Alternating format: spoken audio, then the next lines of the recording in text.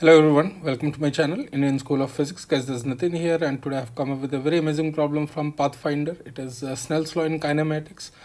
It is chapter 1 uh, CYU 10. And guys, liking, sharing, subscribing is love. So keep sharing, keep liking, and keep subscribing if you're new to the channel.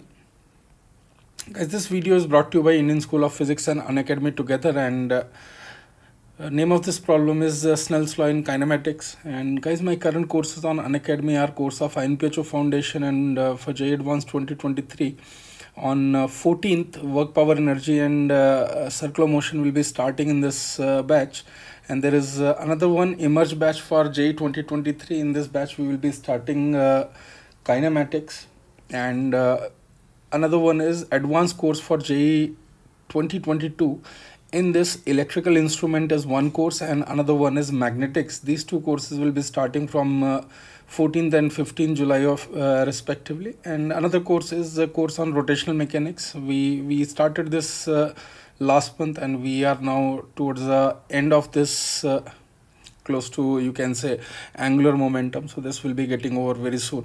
Guys you can access my theory courses which are of advanced plus plus level for boosting your JEE preparation. You can unlock these courses on unacademy using my code Nitin sir. And for more info you can visit www.unacademy.com and guys trust me physics will never be the same again. So here is the problem statement. Uh, house H of an angular is at a distance D from the bank OA of a bay AOB. So you can uh, see here, this is AOB and at a distance L from the corner O. So this distance is given as D and this distance is given as L. Uh, the angler can uh, walk on the ground with a constant speed v and uh, swim in the bay with a constant speed of u. u is less than v related to water. One day he decides at his uh, house to fish somewhere on the bank OB. So somewhere here he is going to uh, going to go for fish. Find the minimum time in which he can reach the desired fishing spot. So guys here uh, on this line somewhere he has to reach and that location is not fixed all right so concept wise let's uh, discuss this. Uh, we can use snell's law for uh, or uh, it is also called as fermat's principle in kinematics for solving such problem of minimum time. Whenever they are asking minimum time we can uh, think in those directions. So it's a very simple one from point a to b. Uh, here speed is v and here speed is u and for minimum time somewhere here they, they are going to change their path.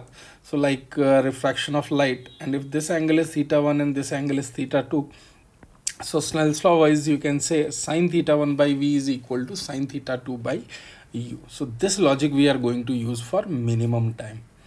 Now uh, one thing which is uh, given here is that reaching spot is not fixed. All right reaching spot is not fixed. So next part is if you look at this uh, diagram here the person is going to start from uh, this particular point and he can uh, reach here and then go somewhere. He can reach here and go somewhere. He can reach here and go somewhere else. He can reach here and go somewhere else. So this is how he has to move. So let's choose a variable point on this bank. We are choosing a variable point p. It can be anywhere. Now once this man reaches here and then he has to reach uh, this line OB in minimum time. So definitely he is going to move in such a way that he will reach here in minimum time. In order to reach here in minimum time he will just uh, move in a direction which is perpendicular to line OB because here speed is fixed. And from this variable point the minimum will come for this perpendicular. So at least this is fixed and we don't know how much this uh, uh, where exactly this point is. So let me take this since this angle theta is given. So and if this is 90 90 minus theta this angle is theta with the normal. And I'll take this variable angle as alpha. So if this this is normal here and this is also normal. So if this angle is alpha this is also alpha here. Now this variable point P is let's say at a distance of x from O all right.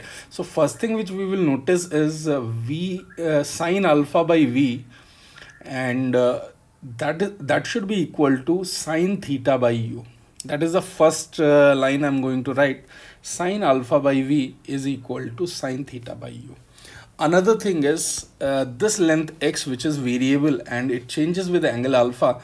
So if you see this length is l this is d. So this entire distance is known to us that is root of l square minus d square and this distance is d tan alpha in this right angle triangle you can see this distance is d tan alpha so x the remaining distance is nothing but uh, this is going to be uh, root of L square minus D square minus D tan alpha.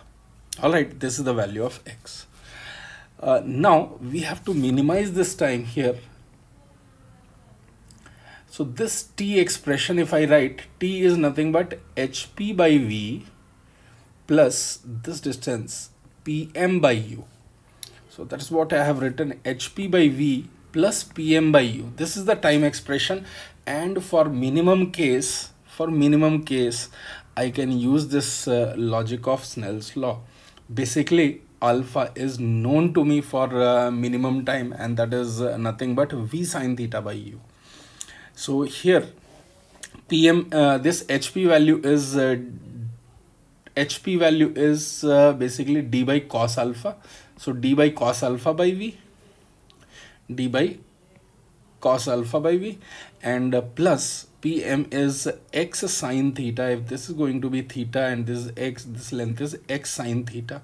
So x sine theta by u now this value of x i'm going to substitute in this uh, equation and i'm going to get entire equation in alpha now alpha value is known to me and that is uh, sine alpha is equal to v sine theta by u. So here if I substitute that cos alpha root of uh, 1 minus sine square alpha and similarly tan alpha values when I substitute and simplify I am going to get uh, this answer as uh, t minimum as sine theta by u plus root of l square minus d square plus d times u square minus v square sine square theta divided by uv times root of u square minus v square sine square theta. This is going to be the answer for this question which matches with the answer given in the book. So i hope guys you have understood this concept properly and this uh, trick also. This method is quite handy. If you go by calculus uh, method it is going to be very lengthy and uh, very painful also. So that's it in this video. If you have enjoyed this solution please leave a like share this video with others. And if you haven't subscribed my channel please subscribe it. I'll be coming up very soon with another amazing video. Thank you